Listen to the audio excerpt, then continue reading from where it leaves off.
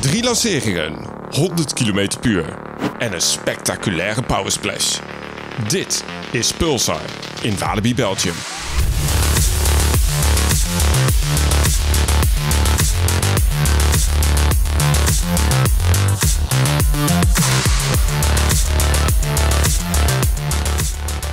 Maar hoe creëer je zo'n splash? Wij zoeken dat uit in Theme Park Science.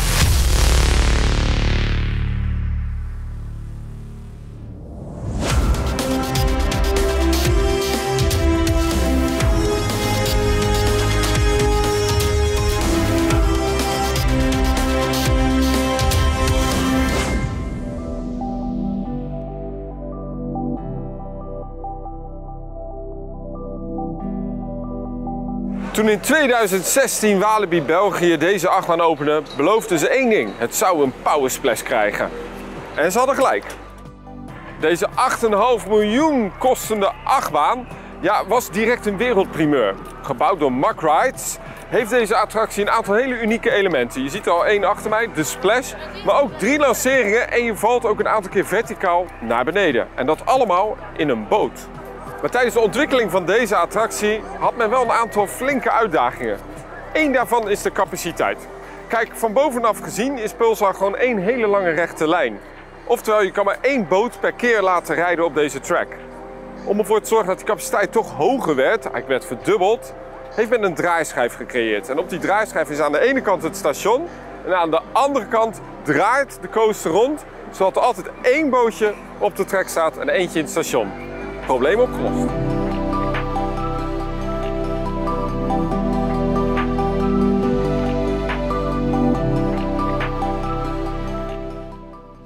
Ja, kijk, tijdens die triple lounge moet er geen water hier in de splashbak zitten, want dan remt de boot en dan valt hij stil. En dat wil je niet. En dan hoor je denken, hoe krijg je dan wel weer water in die splashbak? Pompen zou je denken? Ja, dat klopt. Maar niet zoals jij wellicht denkt. Want het is een hele ingenieuze manier bedacht om duizenden liters waters binnen enkele seconden hierachter te krijgen.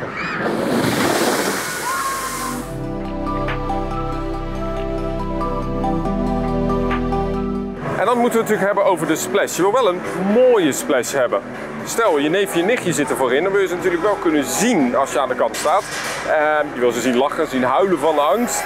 Dus je moet een mooie vorm van een splash hebben, de kopjes kunnen zien. Ja, hoe creëer je nou die mooie splash zonder mensen ook zeik en zeiknat te maken? Want ja, dat willen we ook niet. Oftewel, de splash moet aan een hele hoop dingen voldoen. Niet te nat, een beetje nat en dan moet er ook nog mooi uitzien. Een hele hoop uitdagingen dus om die unieke power splash te creëren. Wij duiken er vandaag dieper op in.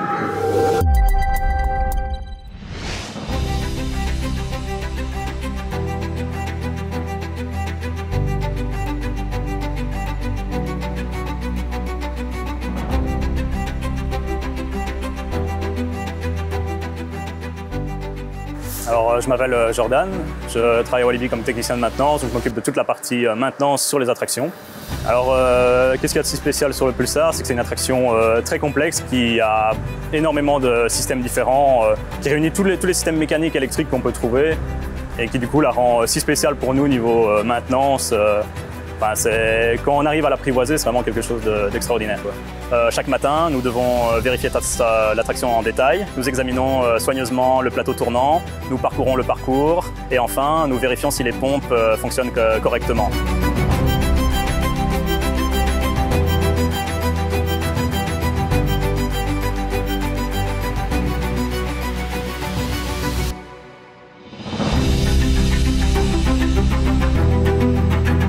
Nous avons ici une attraction aquatique qui fonctionne à l'électricité.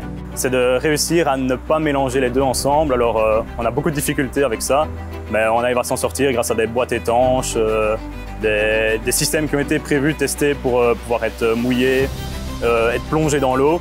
Et du coup, on arrive à s'en sortir avec ça.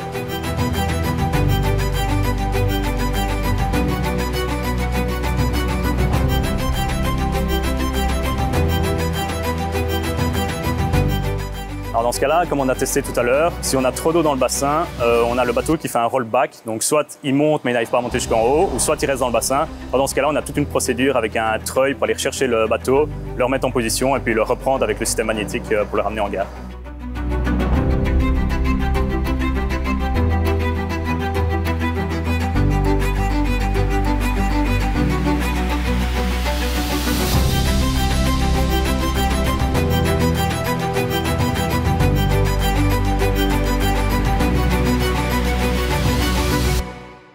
J'adore travailler euh, sur Pulsar. C'est une, attraction unique dont il n'existe que quelques exemplaires dans, dans le monde. Euh, c'est aussi euh, fantastique de voir les gens en profiter lorsqu'ils y sont. Alors pour être le plus mouillé dans le bateau, c'est vraiment à la rangée 5 sur les extérieurs.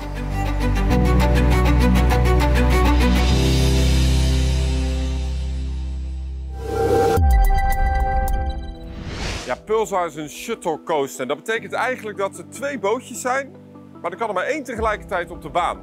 Nou, om ervoor te zorgen dat de capaciteit hoog genoeg is, hebben ze dus een draaischijf gemaakt. Het ene bootje staat in het station, terwijl de ander op de baan kan rijden. Dit is hem dan, de draaischijf. Ook weer erg groot. Alles bij Pulsar is enorm. En om ervoor te zorgen dat tijdens het draaien de boot niet gaat rijden, hebben ze hier dus mechanische remmen gemaakt.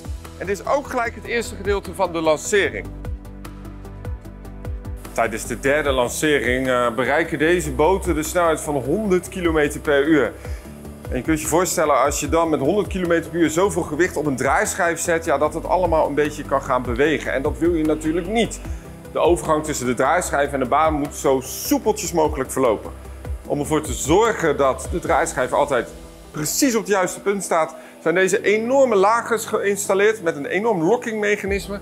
En die pint eigenlijk vast op precies het juiste plekje. Een achtbaan moet altijd een beetje beweging hebben om al die stress van die karretjes te kunnen opvangen. En dat gebeurt eigenlijk altijd best wel prima. Maar bij Pulsar zit natuurlijk die splashbak in het midden. En dat is wel een flink stukje gewicht wat ook niet van de plek kan uh, verschuiven.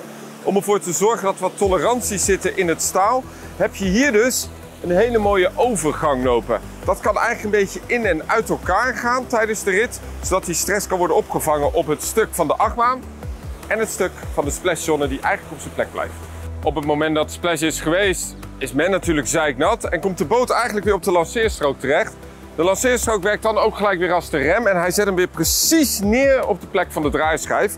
Uh, dan zou je denken, dat wordt allemaal niet zo heel warm. Ja, zelfs als er heel veel water overheen komt, worden die lanceerstroken enorm warm. Vandaar dat naast de magneten ook nog een uh, buis zit waar lucht uh, uit wordt geblazen tegen de magneten aan om ze dus nog extra af te koelen. En dit is wel het meest unieke stukje van Pulsar, de splashzone. En hij staat nu helemaal droog. En je hoort op de achtergrond ook de vier pompen die continu zorgen dat dit ook droog blijft. En dan hoort je denken, hè, je hebt toch normaal pompen nodig om juist water ergens in te krijgen? Ja, bij Pulsar zit dat net even anders. Tijdens de rit wordt al het water weggepompt, zodat de baan droog blijft. Maar op het laatste moment, bij de laatste klim omhoog, openen alle sluizen en vult het water hier de bak.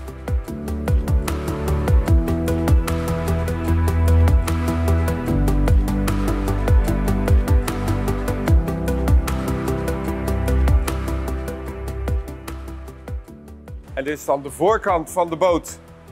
Hiermee splitst het water door middel van deze scheppen om die splash te creëren. En ja, achter dit stukje van de boot zit een hele hoop engineering. Ik heb Jurno gestuurd naar de TU Delft om exact uit te zoeken wat hier nou zo bijzonder aan is. Ik ben vandaag op bezoek bij de Technische Universiteit in Delft. We hebben een afspraak met Peter Wellens van Maritieme Techniek en hij weet alles van scheepshydrodynamica. We gaan met hem samen een aantal leuke experimenten doen om uit te zoeken hoe maak je nou de meest spectaculaire splash.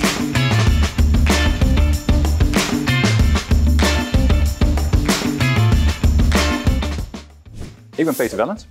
Ik werk bij de TU Delft. Ik werk bij de faculteit Werktuigbouwkunde, Mechanical Engineering. En een onderdeel van die faculteit is maritieme techniek. Als je dus zo'n splash wil ontwerpen met een bepaald doel, uh, een doel kan bijvoorbeeld zijn om zoveel mogelijk mensen nat te maken. Een ander doel kan bijvoorbeeld zijn om een zo groot mogelijke douche van water te creëren. Een ander doel kan zijn van dat die splashes er zo mooi mogelijk uitzien, dat ze zo lang mogelijk duren. Dan heb je een beetje speelruimte. En die speelruimte zit met name voorin. Waarom niet achterin? Is omdat je ook mensen wil meenemen. Die achterkant die is met name rechthoekig. Die heeft daarom dus zoveel mogelijk ruimte om zoveel mogelijk mensen tegelijkertijd mee te nemen. En uh, aan de voorkant van het schip is het dus zo van dat je een boeg maakt. Nou, bij een schip is het zo van dat je die boeg maakt om zo goed mogelijk door golven heen te gaan. En hier is het zo van dat je die uh, boeg maakt om die splash zo goed mogelijk weer te geven. Ik vertelde net van dat water uiteindelijk de lijnen van dat schip volgt. Daarom heeft zo'n wagentje heeft vaak een punt. En uh, lijkt het alsof er dus uh, met, met twee van die compartimenten aan weerszijden, alsof er heel veel water geschept gaat worden. Je begint met een punt en daarna is het zo van dat je water gaat geleiden. En uiteindelijk is het zo van dat die waterdeeltjes de vorm van die laatste wig zullen volgen.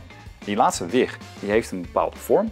Op het moment dat je die laatste wig dus heel scherp maakt, dan gaat water met name naar boven. Op het moment dat je die laatste wig dat je die wat platter maakt, dan gaat water met name naar de zijkant. En afhankelijk van het doel wat je wil hebben, kies je dus die vorm. En daarnaast is het zo van dat je ervoor moet zorgen van dat van die punt naar die laatste wig, dat dat water goed geleid wordt. Want je wil niet dat die verschillende wiggen niet op elkaar aansluiten. Je wil dat zo mm, glad mogelijk maken. Je wil het water zo soepel mogelijk langs die vorm van die wig laten gaan. Deze attractie die heeft nu bepaalde bootjes. Die bootjes die gaan door het water.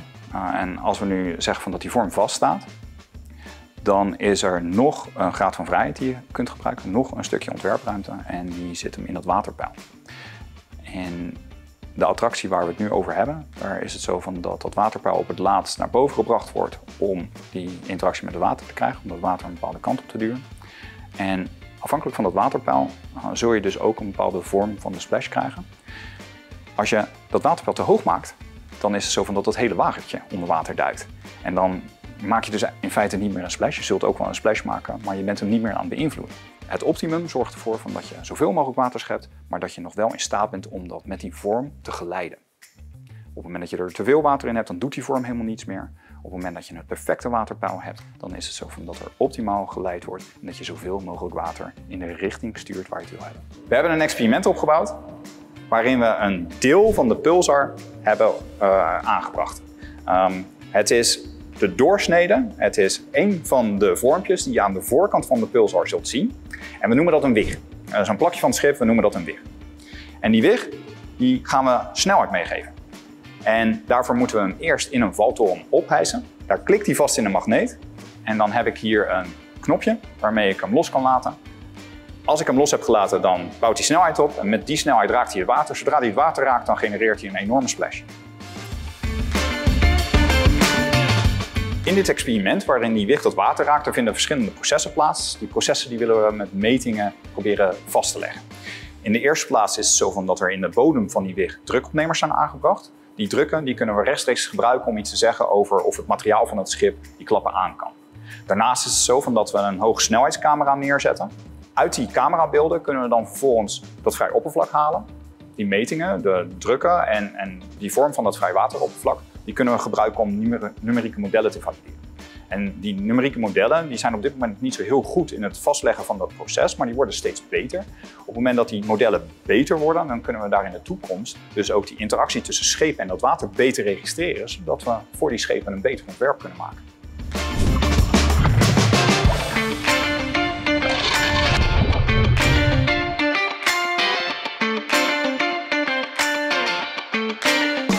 Ja, wat een spectaculaire experimenten zijn er dus nodig om die computersimulaties te kunnen valideren.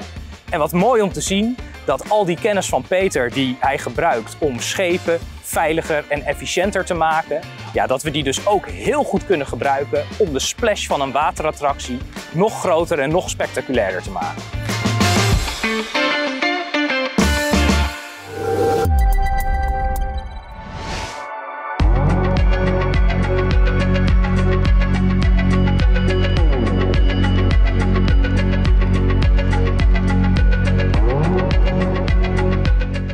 Bijzondere voertuigen zijn dit eigenlijk. Want je zou denken het zijn boten.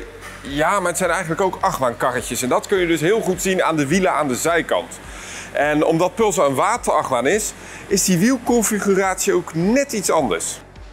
Ja, wat je meteen ziet aan deze wielen is, ze zijn groot.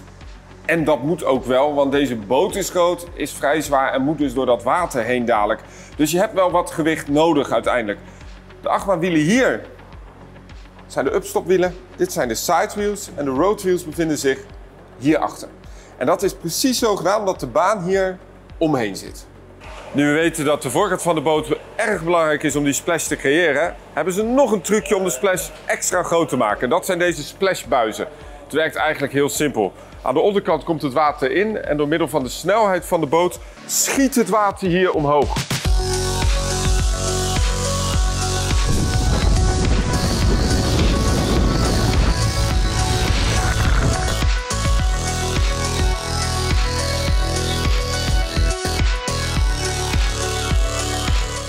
De beugelcontrole bij Pulsar verloopt volledig automatisch. Zo hoeft de operator niet fysiek de boot elke keer in en uit. Nadat de computer heeft gezien dat alle beugels volledig zijn gesloten, is er nog een trucje om die capaciteit hoog te houden. En dat is namelijk de plek van de dispatch button. De dispatch button zit hier op de grond, zodat ze gewoon simpelweg met hun voet de boot kunnen vrijgeven. En terwijl de andere boot met 100 km per uur heen en weer gaat en deze dadelijk gaat draaien, ja, mogen er totaal geen mensen hier natuurlijk meer op het rijoppervlak staan. Vandaar dat elk hek hier ook voorzien is van veel sensoren.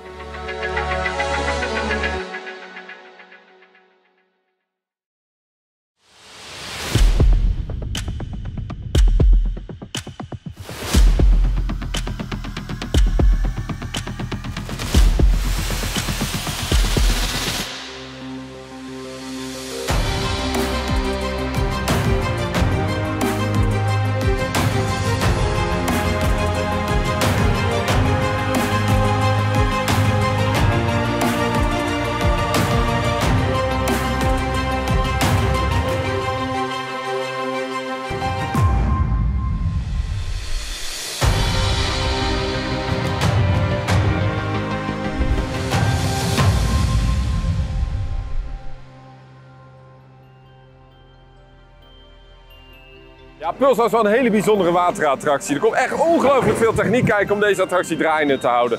Maar het mooiste vind ik nog die splash. Het is echt een power splash. En dat komt mede door het onderzoek dat is gedaan bij onder andere de TU Delft. Dit was Team Park Science.